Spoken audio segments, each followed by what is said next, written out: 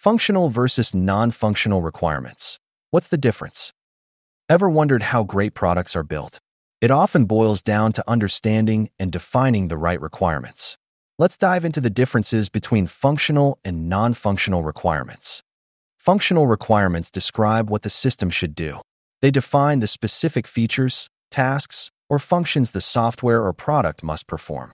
Think of them as the core functionalities that directly address user needs. For example, in an e-commerce website, a functional requirement would be users should be able to add items to their shopping cart. Another could be the system must calculate the total cost, including taxes and shipping. These are tangible actions. Non-functional requirements, on the other hand, specify how the system should perform. They define the quality attributes, constraints, and characteristics of the system. These are often related to performance, security, usability, and reliability. Consider the same e-commerce website. A non-functional requirement might be the website should load in under three seconds, or the system must be secure and protect user data from unauthorized access. These define the user experience. Let's illustrate with a mobile banking app. A functional requirement is users can view their account balance. Another is users can transfer funds between accounts. These are the core actions users need.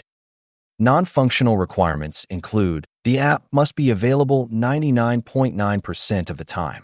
Also, the app must be compatible with both iOS and Android devices. These define the app's reliability and accessibility. Both functional and non-functional requirements are essential for product success. Functional requirements ensure the system does what it's supposed to do.